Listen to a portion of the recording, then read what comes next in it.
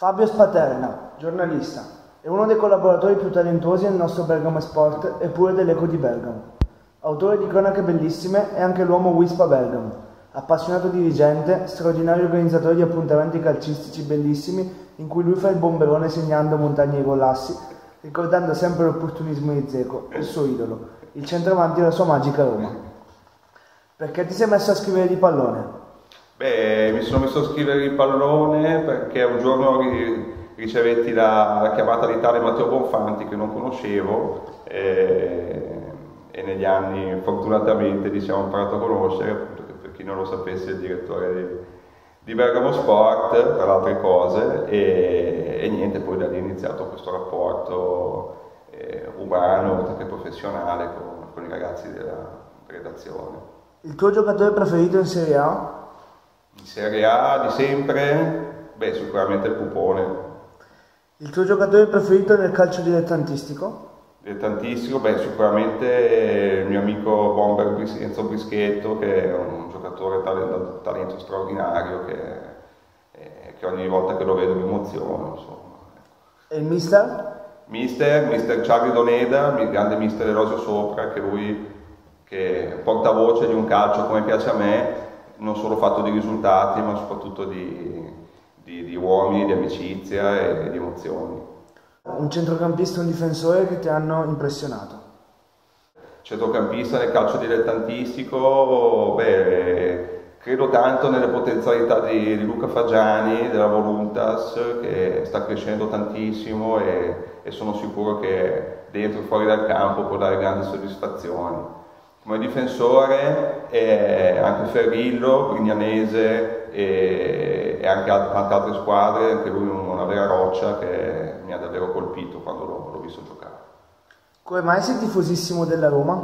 Perché da piccolo quando appunto mi, mi appassionai al calcio, eh, non sapendo che squadra tifare, quanto eh, i, miei, i, miei, genitori tifavano Milan e Inter, mio nonno la Juve, quindi io non volevo fare un torto a nessuno, quell'anno lì vidi un Roma-Napoli 5-2 l'anno dello scudetto e quindi per fortuna o purtroppo, secondo dei punti di vista, mi, mi appassionai ai colori giallo-rossi e ovviamente non si può più cambiare e neanche lo farei. Un giocatore della Roma che, ti, che hai amato tantissimo? Beh, tantissimo, ce ne sono tanti, perché oltre a essere scontato il pupone, però eh, Battistuta, Rudi Föller, Caniggia, anche il principe Giannini, e ce ne sarebbero tanti, compresi i tantissimi bidoni che abbiamo avuto in questi anni. Totti o De Rossi? Beh, sicuramente Totti. Spalletti o Di Francesco? Beh, Eusebio perché quest'anno ci ha fatto davvero sognare. Sarà o Chic?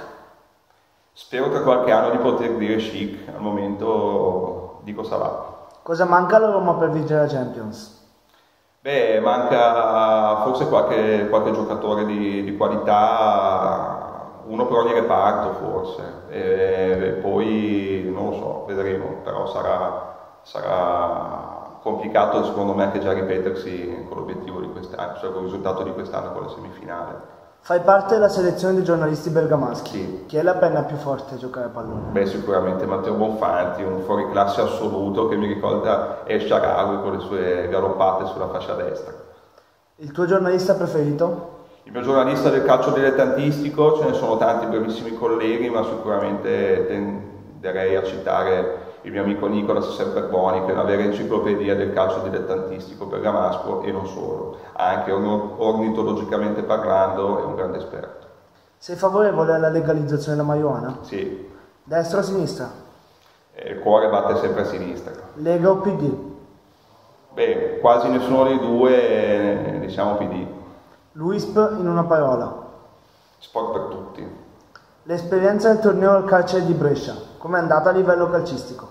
Beh, a livello calcistico diciamo che poteva andare meglio perché non siamo riusciti a vincere neanche una partita, però vabbè, è un po' il ritornello di quest'anno perché tre squadre che sono organizzato e, e, siamo a metà maggio e non siamo ancora riusciti a vincere una partita, però vabbè, ci siamo divertiti. E a livello umano? A livello umano mi ha lasciato davvero tanto, ho conosciuto dei ragazzi che, con i quali abbiamo giocato senza, senza giudicare, né io loro né loro noi, e senza pensare al loro, al loro passato, agli errori, eh, perché WISP vuol dire questo, WISP vuol dire eh, appunto sport per tutti, eh, nessuno escluso e dare l'opportunità a tutti appunto di, eh, di, di, di, della pratica sportiva perché la pratica sportiva è un diritto inalienabile per tutti in qualsiasi condizione. Una domenica senza pallone, cosa fai?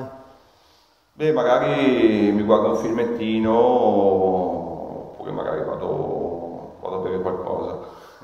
Le persone più importanti della tua vita? Beh, sicuramente Exequo, eh, mia figlia Emma e mia moglie Elena. Il tuo film preferito?